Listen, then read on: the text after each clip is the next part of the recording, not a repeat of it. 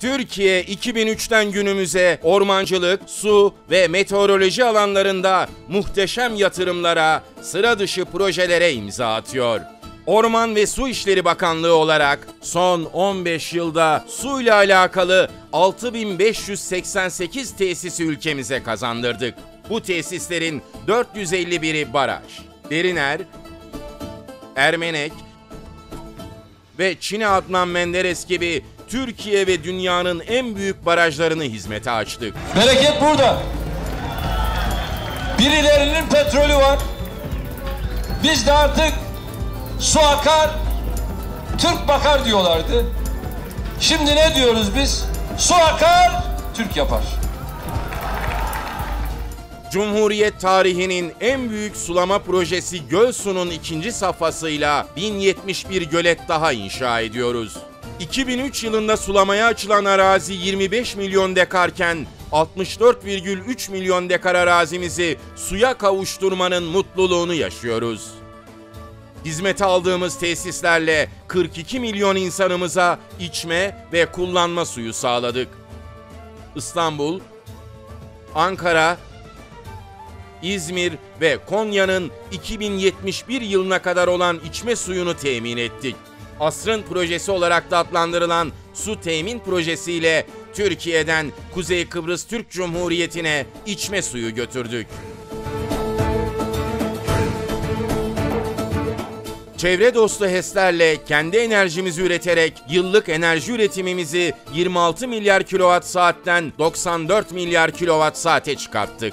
Bölgesel projelerimiz olan Güneydoğu Anadolu, Doğu Anadolu, Doğu Karadeniz, Orta Anadolu, Batı Karadeniz, Marmara, Trakya, Ege, Akdeniz, Konya Ovası gelişim ve kalkınma projelerimizin çalışmaları aralıksız sürüyor.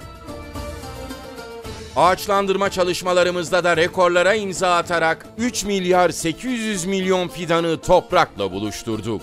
İnsanları şehir hayatının yoğun stresinden kurtarmak ve tabiat sevgisini canlandırmak maksadıyla 145 şehir ormanı, arıcılığı ve organik bal üretimini desteklemek maksadıyla da 356 bal ormanı kurduk. Milli park sayımızı 42'ye, tabiat parkı sayımızı ise 223'e yükselttik. Türkiye genelindeki otomatik meteoroloji gözlem istasyonu sayısını 31'den 1674'e çıkarttık.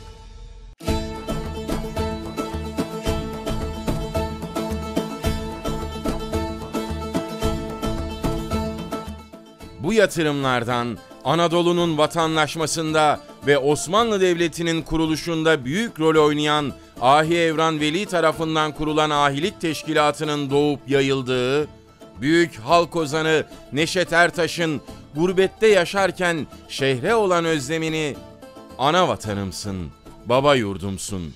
Ozanlar diyarı şirin Kırşehir. Uzak kaldım gurbet elde derdimsin. Hasretin bağrımda derin Kırşehir.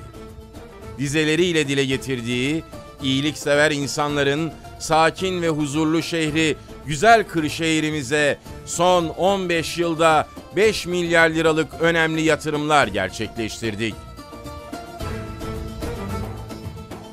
Bu yatırımların 290 milyon liralık kısmı bakanlığımıza ait. Akçakent Boğazevci ve Kaman Değirmenözü barajlarıyla Mucur Aksaklı Karacalı göletini inşa ettik. Akpınar Pekmezci Barajı'yla Boztepe Çamalak Göleti ise inşaat safhasında.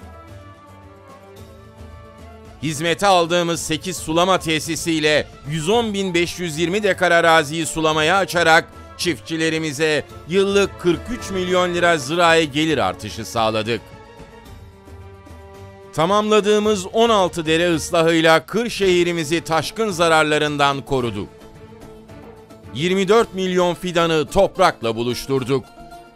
Kurduğumuz şehir ormanı ve Kaman mesire yeriyle vatandaşlarımıza rahat nefes alabilecekleri yemyeşil alanlar sunduk. Orman köylerinde yaşayan vatandaşlarımıza 2,4 milyon lira Orköy kredi ve hibe desteği sağladık. Mucur Budak Köyü Bal Ormanı'nı tesis ettik. Gelir getirici tür ağaçlandırmaları yaptık. Aşıkpaşa Tabiat Parkı'nda birçok çevre düzenleme ve altyapı çalışması gerçekleştirdik. Seyfe Gölü Tabiatı Koruma Alanı ve sulak alanındaki çalışmalarımızı bütün hızıyla sürdürdük. Kırşehir'in Tabiat Turizmi Master Planı ve Tabiat Turizmi Uygulama Eylem Planı'nı hazırladık. Kırşehir'imizde 12 otomatik meteoroloji gözlem istasyonu ve yıldırım tespit ve takip sistemi kurduk. Bunlarla iktifa etmedik. Kırşehir'imize ne yapsak az diyerek 57 milyon liralık altı müjdeyle daha geldik. Bu müjdelerle Kaman Yukarı Çiftlik Göleti sulamasını yenileyerek daha iyi şartlarda sulama yapacak, 1,4 milyon fidanı toprakla buluşturacak, orman köylerinde yaşayan ailelere 550 bin lira kredi ve hibe desteği sağlayacak, Akçaalı Bal Ormanı'nı tesis edecek, 5000 köye 5000 gelir getirici orman projesi kapsamında toplam 20 bin ceviz, badem, iğde ve dut fidanını toprakla buluşturacağız. Kırşehir'de destan yazmaya devam ediyor ve bugün de aralarında Akpınar Neşet Ertaş Barajı, Çiçekdağ Beşikli Köyü Taşkın Koruma Tesisi, Aşıkpaşa Tabiat Müzesi iç düzenlemesi ve mescit yapımı, orman yangınlarıyla mücadele, ormanlık alanların artırılması ve orman köylerinin desteklenmesiyle alakalı projelerin yer aldığı toplam 21 milyon lira maliyetli 4 tesisin temelini atıyoruz. Bugün ayrıca Kırşehir Belediye'miz tarafından yaptırılan 15 milyon lira maliyetli Güzler Piknik Alanı ve Evcil Hayvan Parkı'nın da açılışını yapıyoruz.